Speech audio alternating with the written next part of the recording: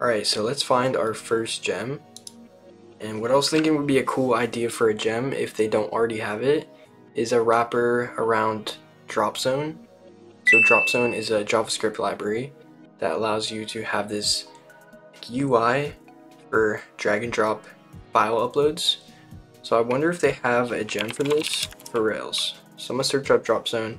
Looks like there's a few suggestions. So we have drop zone and drop zone JS dash Rails. So I think I want to start with just the drop zone by itself. If we take a look at this, oh, so when we do click, it just brings us to the search page. And drop zone, it says it's for Rails 4, which is pretty old at this point. So right now, like the newest version is 7, maybe like 7.1 or something. So this is for Rails 4, as from a long time ago. Uh, but there is 12,000 downloads. If I click on it, the last version was in 2013. This is crazy to see, and you can see the author and everything. He's probably still around there coding. But the last version was more than 10 years ago, so we should probably not use this one. Let's go over to this one. Okay, Dropzone.js-Rails has almost 7 million downloads. So this is probably the one that we would use. But the latest version was in 2020, which is interesting because so much has happened in the Rails JavaScript world since 2020. Like we've totally changed things. We got rid of compilers because compilers used to be a part of Rails. Like at a certain point, I think in Rails 6 or something, they just added in uh, what was it, Webpack. We had Webpack for a while, so I even remember developing on that. But now they took it out and it's all like import maps, or you can use esbuild, which is another compiler but more lightweight. So I'll be curious to see if this still works with the current setup with import maps. Dropzone JS-Rails. So let's see. Uh, the latest version is Dropzone 5.7, so that's probably fine. You have to do this like require thing. You know what? Why wouldn't it work? So let's see if it works. What I'm going to do is I'm going to open up a new Ubuntu console. And let's go ahead and just create a basic app. Rails new. I'm just going to call it Fun with Gems. And I will add Tailwind because I wonder if that would conflict with it. But I like using Tailwind. I don't think it'll conflict. I just think maybe the styling won't be styled with Tailwind. But yeah, let's do... Should I use Tailwind or not? I guess Tailwind, that just is another gem. So you know what? Let's try to do it without any gems. And even if it's ugly, we can try to make it look better with what we have. And that might even qualify for another we could find like a gem for UI. Uh, so that could be another gem that we do in this video. So let's do Rails new fun with gems. Nothing else. So it's only the name of the gem. Usually I do like the database and the CSS, but for this video I'm just going to keep it simple. And we're going to do just a straight Rails or default Rails app. I love that you can do that without specifying anything you don't have to worry about specifying all that stuff. I always do it, and you know what? It's not really the best. I mean, it might be the best idea because Postgres is usually better than the default, which is just stored on disk. So when you go to deploy, like it depends how you want to manage your app. For me, I'm deploying an app right now that's using SQLite. So now that the app is done generating, you can see into it, just like that.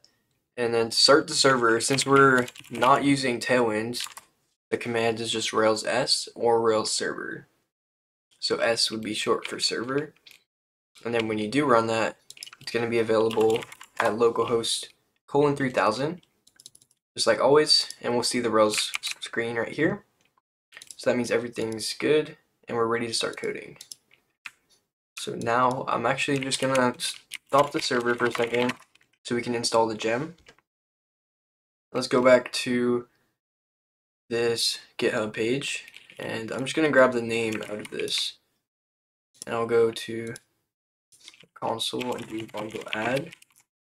Now I would think the dash might actually be a problem, so I might have to add it in a string. That should work. There we go, it's getting the gem right there. It installed it. Now it says we need to add this line to the application.js, which I've, I'm not sure if this will work with import maps. Let's do a code dot. I'm just going to open up the code. Then we go to app JavaScript application.js and drop this line in, which doesn't really look right because now we're using like import.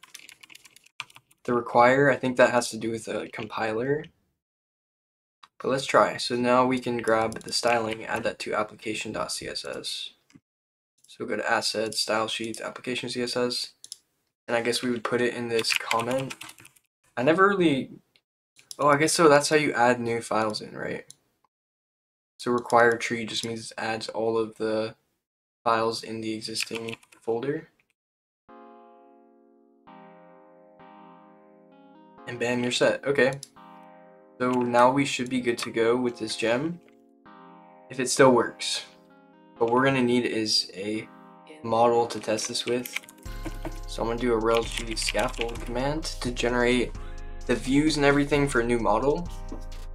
So the model that we can do, since we're doing drop zone, we might want to make it like a post and a post could have an a quick caption so you wouldn't want it to be too much text and then image and you type attachment.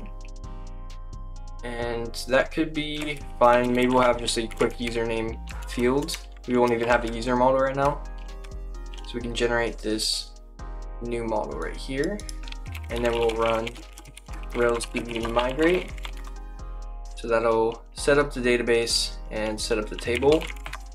After that we can just start the server again. Oh I did bin dev because I'm so used to that, but since we're not using uh, bin dev, we're not using foreman to start all the different servers for Tailwind and everything. We just do Rails S one time and it starts one server, which can be kind of nice to develop like this, and I haven't done it in a while. So now I'm going to go to the code and I'm going to quickly set the root of the application. So to do that, let's go to config routes.rb at the bottom, I'm going to uncomment the root. And I'm going to set that to actually the post index. So that's already right. And then we can reload. And we'll see, oh, we get an error. Cannot load such files task. So that's what I kind of was expecting. Uh, it does not work. So when we try to require something like this, I guess it's a Sass file. So I'm just going to mark this as no, it doesn't work with import maps and new Rails. But we probably could get it to work. Look it up. I mean, what is it supposed to do anyways? They don't have any documentation, so it's not really... I think it's one of those things where it does an automatic drop zone. Or like you have to use the class or something. Or maybe all it's about is just I think all it does is just sets up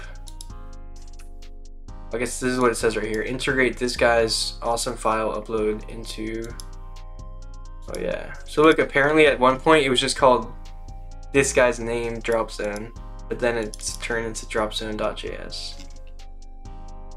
But it's so much easier than that, so we don't need that. That gem's actually really bad. We need a a better one. But I guess people already know you're supposed to use import maps, so instead of using, you can basically do the same commands as the npm guide. That's the cool thing. So you just take the drop zone, we can do import map pin drop zone, and we can do the same code right here in Stimulus, which is pretty sick. I like that. I like that that works, and we can do that. But yeah, that's not, that's the import maps gem, which I guess is, it is a gem, the import maps library uh, yeah, uh, I guess we have figured that out. Drop zone does not work. So this was kind of a delete all the code for drop zone. Sorry, but that does not work with my setup. And I'm just trying to keep it simple. I don't want to have to do anything crazy to get this to work. I'm gonna go to the gem file and let's get rid of this drop zone gem. And then I'm just gonna remove gem file lock bundle again just so that we know that we don't have that gem anymore. Alright, that's one gem down. Now on to some more gems. So the next gem that I want to use is actually a gem that I developed with my dad, which we are really excited about, and it's called AppChat. So AppChat is a gem that allows you to easily add a whole ChatGPT UI to any Ruby on Rails app. This is a crazy gem that we developed. Me and him developed the first prototype of this gem over a weekend, and then my dad's been going hard just working on new features for it ever since. But it is open source, so you can go to the GitHub right here. And if anybody wants to do a pull request and look at this code, uh, let me just show you how awesome it is right now. So to use AppChat, let's go back into the terminal and we're gonna add this gem. So this gem's really cool. So the first thing is you need to have Ollama. So you can go to ollama.com and that's the library that we're using to interact with the AI model. So Ollama is an open source AI model host and it's really cool but you do have to download it so you can just go to this website go download and then if you're on Mac or Linux and also if you're on Windows if you want to just have it set up on your Windows you can do that. For me I'm using WSL so I set it up using the Linux install command. So I'll just copy that go to my terminal and then I'm gonna create a new terminal window just like this. And then we would run this command to install Ollama. and I already have it installed but once that finishes running you can do Ollama run llama 3.1 and when you do this it'll go and download the llama 3.1 model. So you'll see it takes up like a couple gigabytes and just has to download it. And then once it's done it'll run it just like this. And you'll see you have a prompt that you can talk to. See, I can just say hey, and then it replies right away, and I can ask it whatever I want at this point. So let's go back to the terminal that was inside of our gem. And from here, what we're gonna do is once we have Ollama set up, that's perfect. Now we can install the gem, and we're gonna only have to run two commands to get this whole chat application set up. So here's the commands. We're gonna do a bundle add app chat. So that's gonna add the app chat gem to our app so that we can use it. And after we have added the app chat gem, we're to run a RailsG app chat command, which is going to be a generator that sets up the whole chat application. This is really cool. If you look at what it's doing, it's like generating different pages and models and files. But this is such a cool gem and I'm really excited to be able to show you this. So just like that, the app chat gem has installed and you see even get this nice message right here. So you'll know at this point, it's set up. Now all you have to do is start the server and actually the cool thing about the app chat gem is it adds Tailwind. So that might be cool or bad. You might want to be careful with adding this to gems that are not using Tailwind or like even gems that are existing because it does create a couple models. But still, this is very cool as a starter template. You could use this to create any sort of chatbot. And we're going to be talking about that a lot. My dad has uh, basically figured out ways that you can have your AI chatbot do functions and talk inside of your Rails app and like execute things like basically run Ruby code. Like the AI bot can talk to Ruby and run Ruby code. But you want to be careful with that. So we have like specialized functions that are already built into the gem you guys will see when you use this gem. Anyways, now that we have this set up, we're going to use bin slash dev instead of Rails S because now it's switched to Tailwind. We're going to do bin slash dev and now we can go to localhost again, reload, and we're going to go to slash chats now. And you'll see we have this chat set up right now. So we don't have any chats yet. We're going to create our first chat. It looks like my Redis server wasn't started. And you quickly start that. So I have this whole script because I'm on WSL and you can't do like you can't have system processes because it's a virtual machine, I guess. Anyways, now that I have Redis set up, we won't see any errors. Uh, now I can do my chat right here. So I'm gonna say, what's up? And look at that, you sent the message. Yo, he's chill. That's chill. So this AI bot's pretty nice. See, chill vibes only.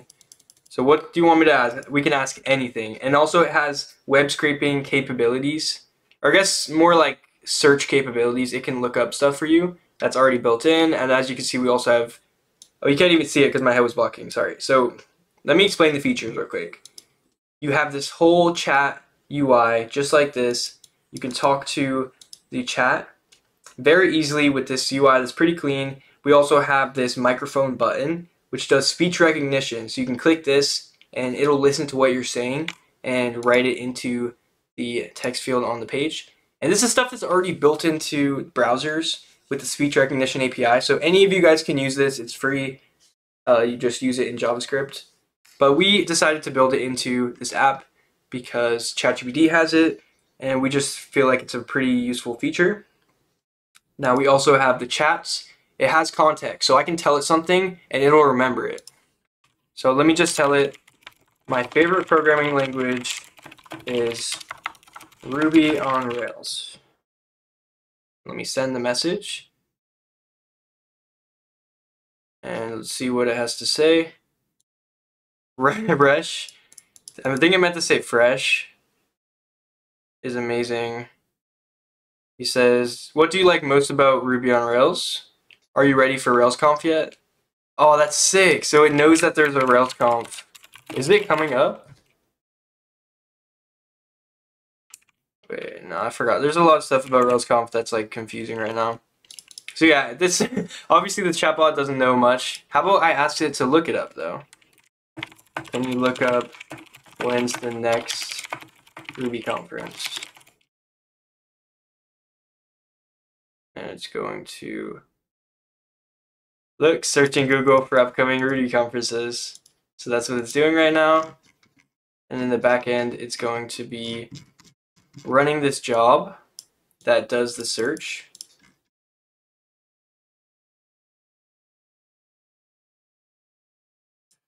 Let's see, I don't know if it works because, well, I'll just show you. So let's go back to the code. The thing really was the function. Somewhere around here in the service, we have a web search service, which is what we're doing to, as you can see, we're yielding this message searching Google. And then we're doing this browser, which is essentially a web scraper, which is going to open up a headless browser and go to Google, search, and then return some of the content. Now, for me, I think I've been having problems with Chrome driver. It's been really frustrating. I haven't been able to really get it to work. Uh, yeah, so that's why it's not showing up. Now, I had an idea. I think my Firefox driver works better. So I think it's as simple as just changing this to Firefox. And it should work now.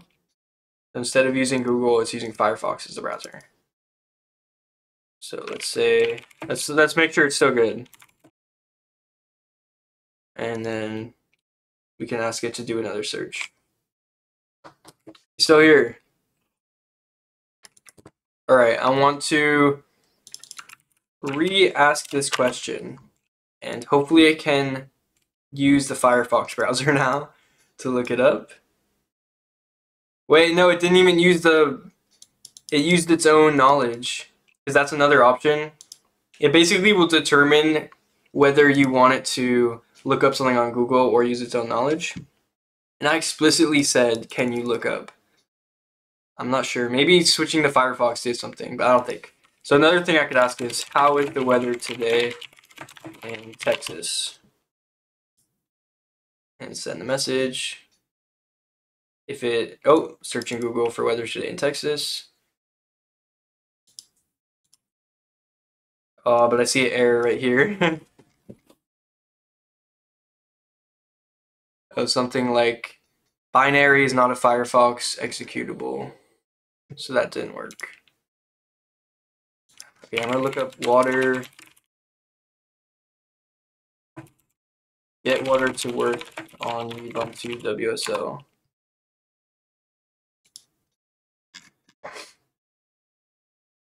Hmm. Chrome driver helper. Oh, is that something?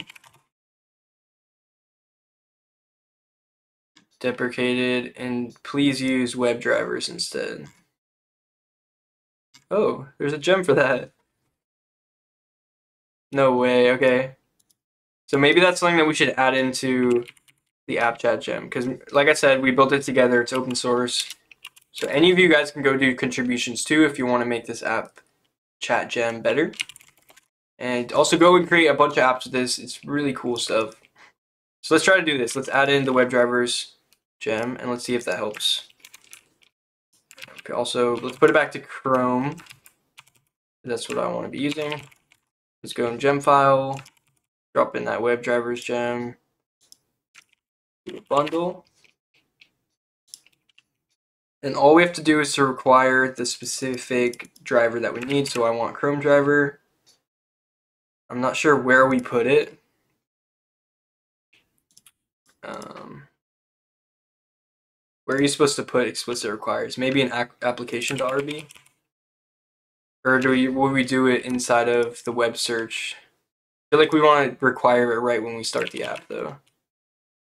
Which I think would also mean we should restart the, the console, which we don't even have started, so that's good. Let's see if this fixes it. Let's run bin slash dev. Let's go back to our chat.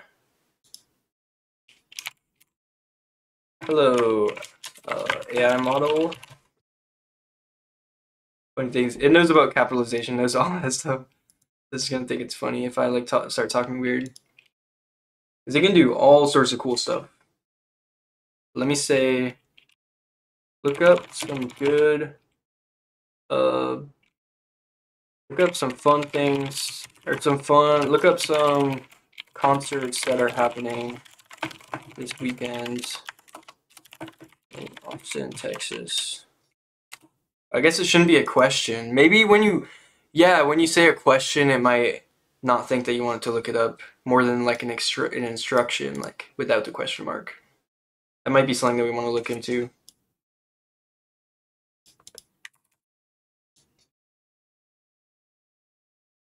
Anyways, if we get an error, I think we are getting an error. So even with the require of the Chrome driver, supposed to set everything up for us. What did it say? Please set required version to a known Chrome driver version. I guess that's what they want.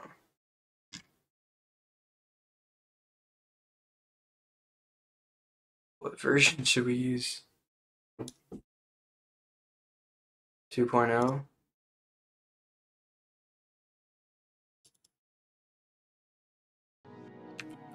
I guess we need this in initializer. That was so long ago. So we probably want like the latest. Is this a version? Yes, it is. Like they have this really long number now. Uh, just want to copy the number. I don't know if that's actually the version. I guess it is. So we need to set that. It's throwing an error. So I'm gonna do a webdriver.rb. Let's set this required version.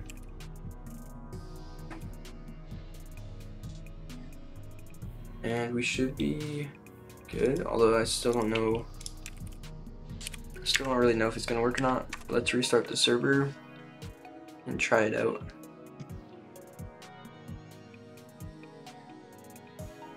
So now I'm to go back to the app. And let's just see if it's still running by asking something.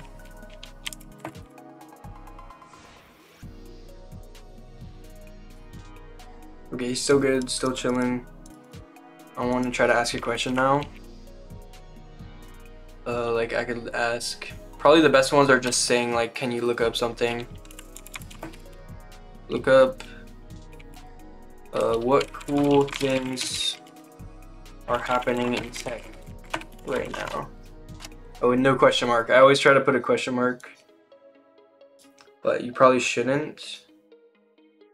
Let's see. Wait, no, it's it didn't use the scraper didn't use the web search service. It actually just tried to answer the question. So I have to wait. I think I have to wait. It's probably better if I... Although I probably could just spin up a new chat.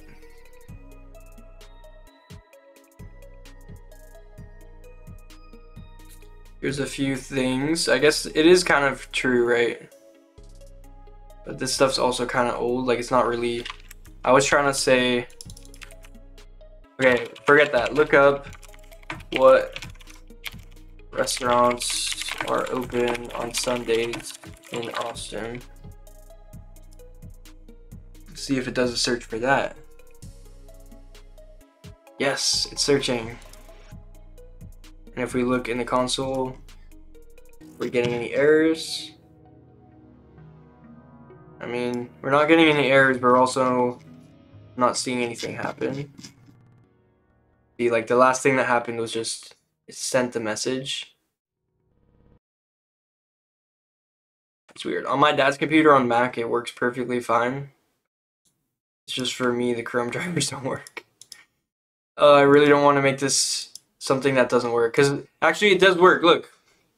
The only thing that doesn't work is the web searching functionality. Obviously. And I know my dad said there was a way that he like initialized it We're in a rake task it created the function. So if we look right here, we have this app chat function rake task where we created the web search function. So I guess what we could do is just delete all of the functions in the Rails console. So let's go Railsy. We're gonna go app chat function destroy all. That was just one function. We could define our own functions too. That might be something fun that we could do in this video, like have a function that does something cool. Since now we have that, that way of doing it, framework. All right, so what I'm gonna do is, now that we got rid of the searching mode, it's not gonna be able to search anymore. So I'm gonna try to test that. Say, hey, what's up? It's always how I start to chat. so he's chill, nothing from his end. Okay, can I say, can you look up what there is to do today? And I wanted to say, no, it can't look it up. Because I deleted the function for that. Oh yeah, look, so it didn't, it didn't even know about the function. That's sweet. So that means it worked. Like the code that we have written in the gem. So this is awesome, actually, to see how this is working. Uh, so if we want to create our own service, it's just as easy as this. You create a class name, and it's going to send the parameters. Oh, and then you create function parameters. Yo, that's so cool. So can the parameters be anything? Or no, you set the name of the parameter and then you set the example value. And that's going to be... This is a little bit confusing. but it's also really cool. Just because I've never really looked into this yet. And then on this, we have two prompt hash.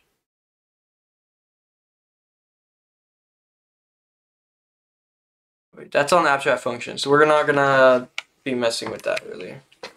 So all we're gonna do is we're gonna create a new function, and then we have the class name, of course. Over here, this is the one for web search. It's very simple. As you can see, all it's doing is it's running this code, and then it looks like it returns the response. So that's what this function would be looking for.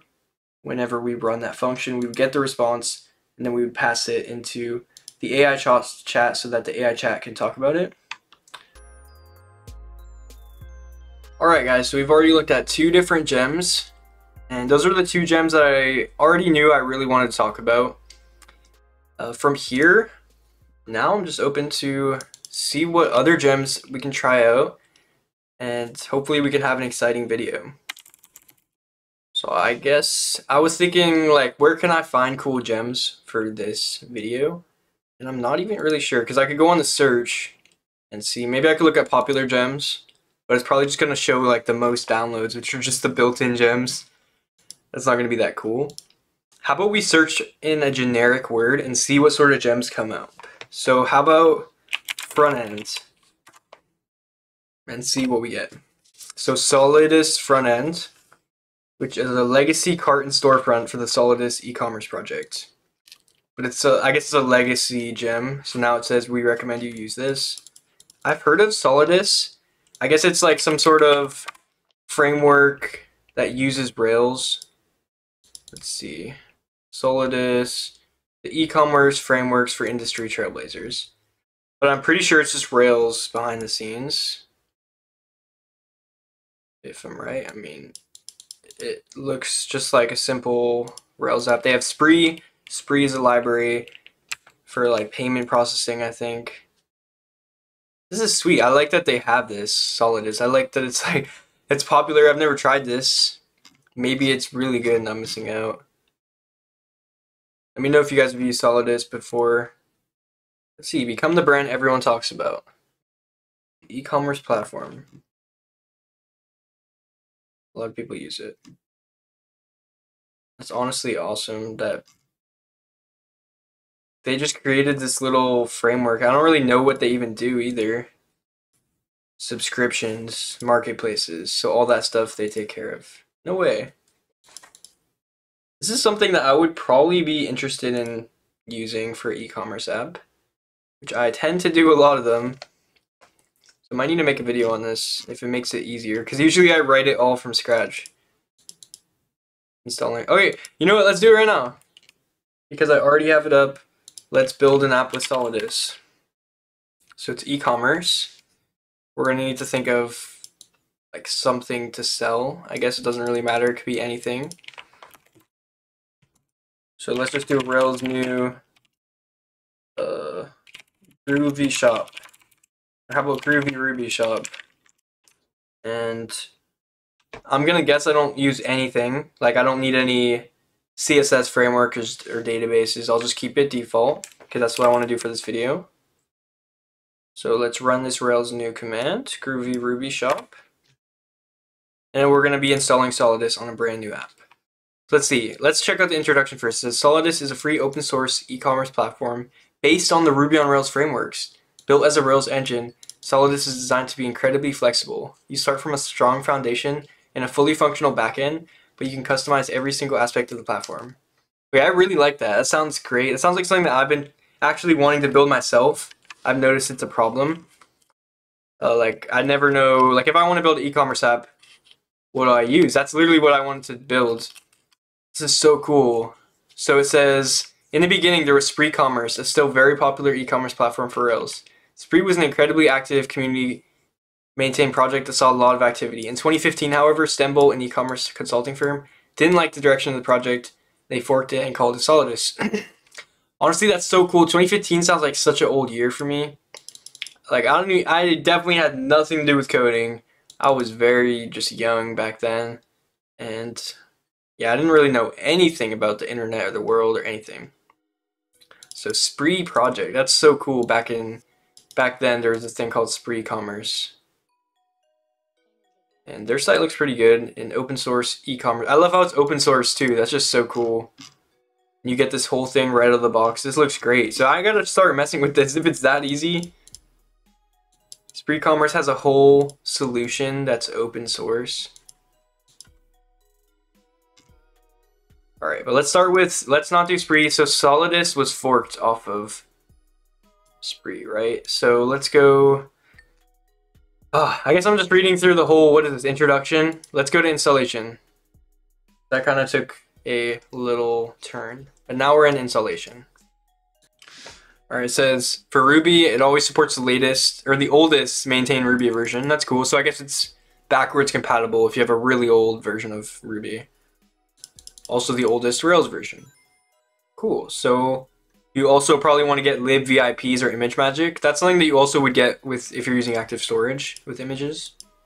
I think I already have this, but if you guys are watching, following along, you might want to realize that.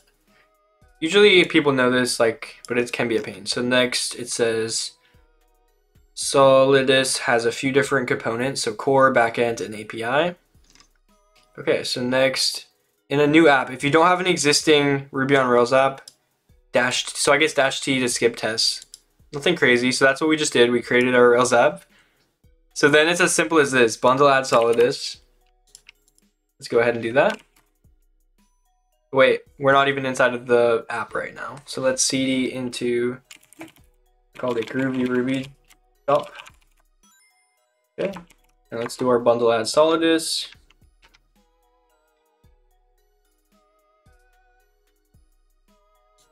So it should be fetching the gem. It's taking a little second.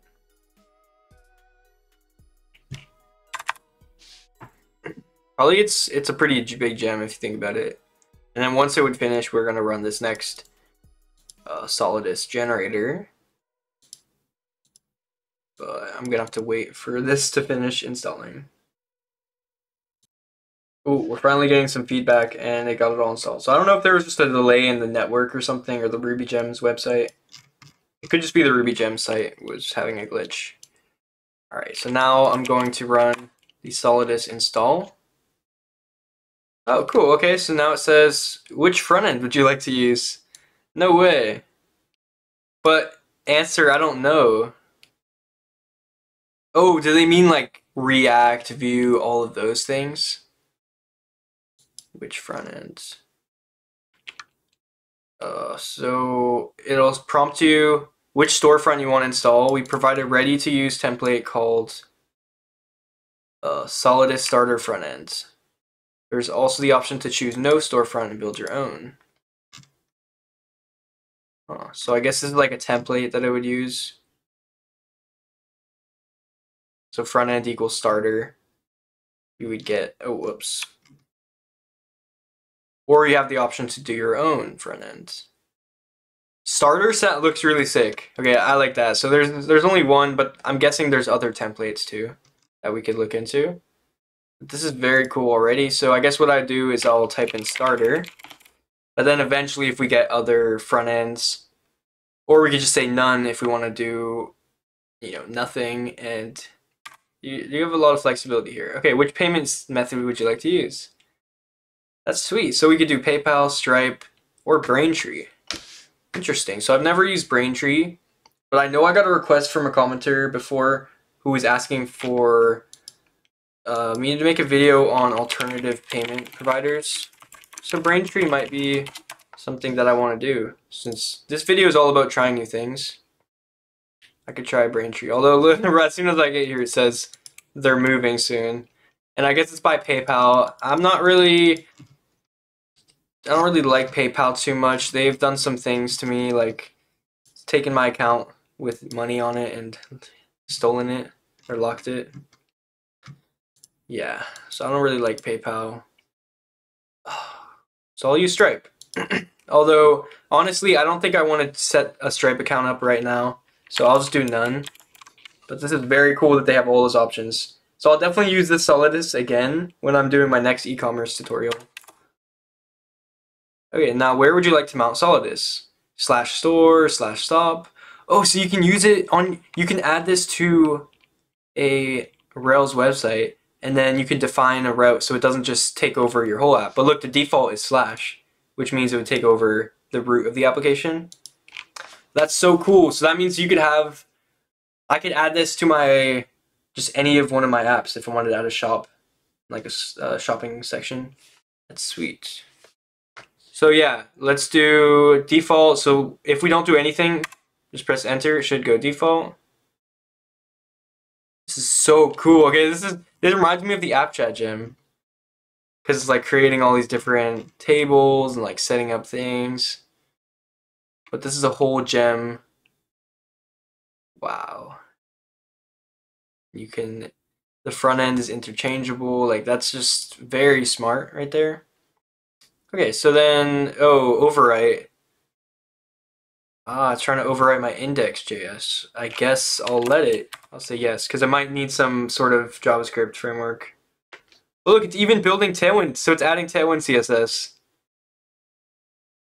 No way, it's adding Tailwind. So that's something that AppChat Gem does too, and we were kind of like embarrassed about it. But look at look at this right here.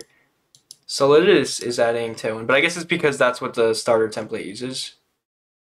And it was probably updated It's like four years. I think they had Tailwinds four years ago for sure. So it's possible that they just chose to do that because that's four years ago. It was only 2020.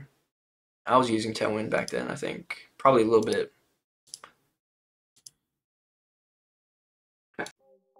says rebuilding. Oh, we're all the way down here. It's still going.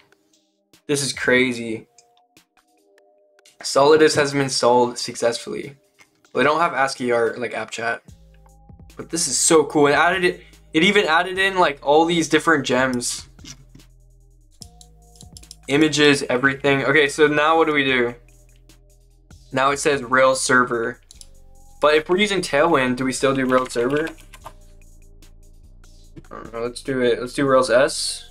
And then let's go to localhost 3000 and see what happens. Ah. It's loading. Stuff's happening in the console. No way. Look at this. We got this whole store. This looks fire. Wow. And it already has some sample products. Yeah, this looks sick. This red shirt with the whole page backgrounds.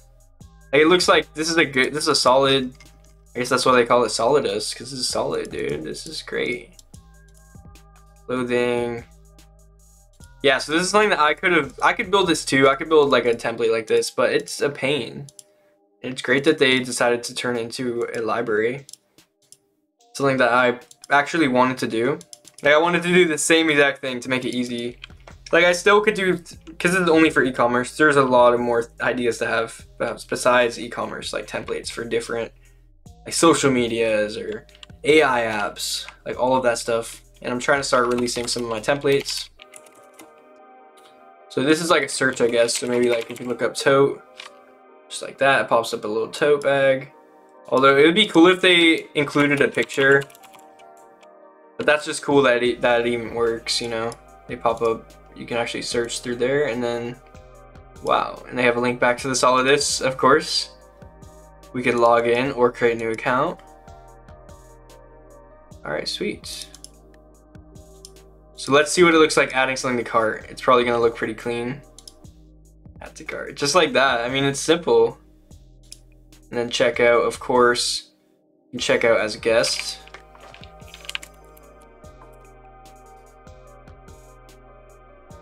Boom, we have all of this. And of course, we're not even using a payment. So I get this is very good though. The billing address and then the shipping address section too. This is great. Yeah, so all this is pretty solid. I love it. And then of course customizing it. I'm guessing I would just open up this app and we can customize all of it. Just like the app chat gem. Just essentially copying over the views over to your app.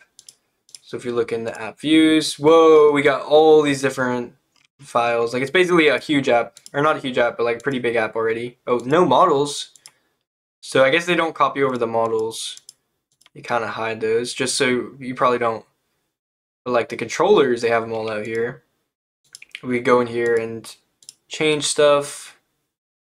Wanted like products controller. You can see what's going on. It's kind of a lot of code here experience. I mean, it's just a lot because I don't really know what's going on. I could probably try to read through it, but I don't even feel like it, you know? If we go to the views, though, we could see what the views are looking like. If we go to views, products, like product image, this is what it's looking like. Oh, they're using view component. It's crazy. Yeah, view component right here.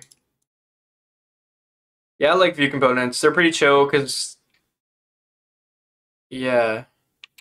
I guess there's like all this different specific code. And if you look at where's the template? Oh, it's just a content tag, so I guess it's pretty simple. Like a link to. So that is a good reason to use a view component to have like a bunch of logic on top of a simple content tag. I like view components. So that's another gem we could check out, although I've already used it, so I feel like it's not new. It's interesting that they use it behind the scenes. I guess the views are just pretty light. Yeah, look at how light these are. These are simple. And it is using Tailwind. Like, they use it in such a way that you can barely see the code. Like this, they're doing the T. I think that's internationalization. Or no, that's template. I don't even know. See, I don't even know what the T is for. Does that go over to Spree? No, see, there's not even a file for that. I mean, I don't know. I think that's internationalization. If I search for this, I don't even see where it's at. See, I don't see where it's defined. Well, I guess because they would be namespaced. Still. This is cool. Solidus is a crazy framework. So now we see, like, if we wanted to spin up an app, now for customizing the products, I'm not sure how we get to that point. So if I see like customization, customizing your storefront, let's go there. Editing a view.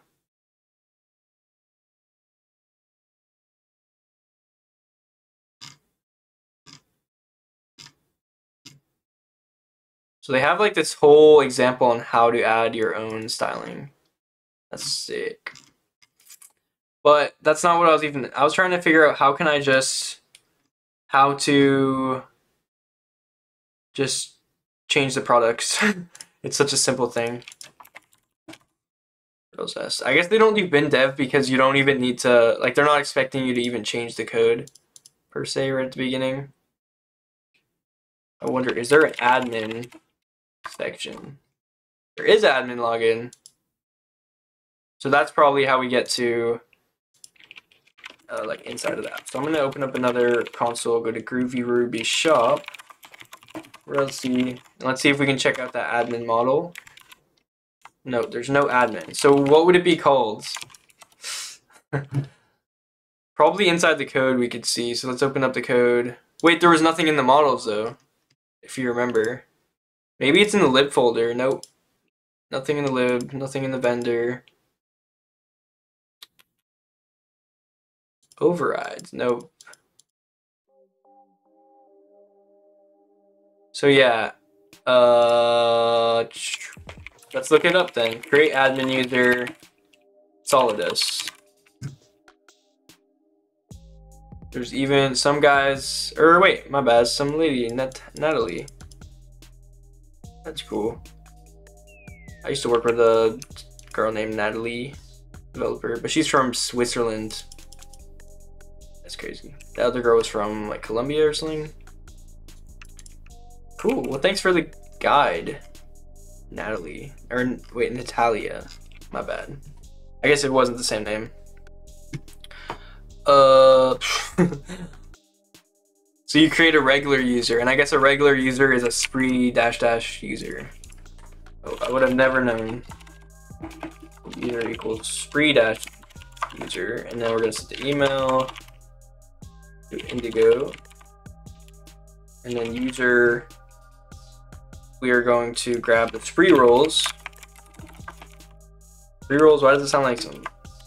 Ooh, maybe I'm just hungry. We're gonna get spree roll, find by name admin. Just like that. Add it, and then I guess we would dot, do a dot save.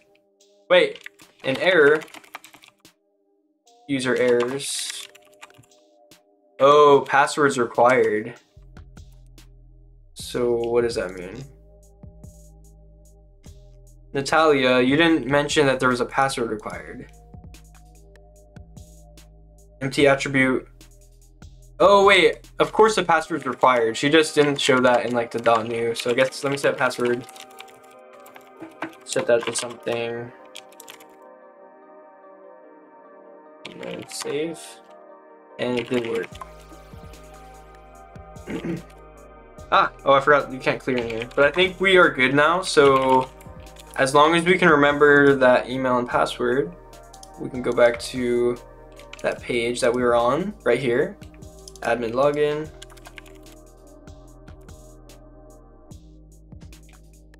Login. This could be a little bit prettier, but I guess the admin section doesn't have to be pretty. And you know what? This looks really good right here. They even have a toggle for show legacy UI.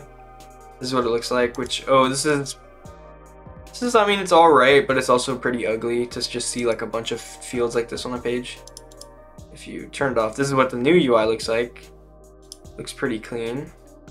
And you click on a product, I guess is the order.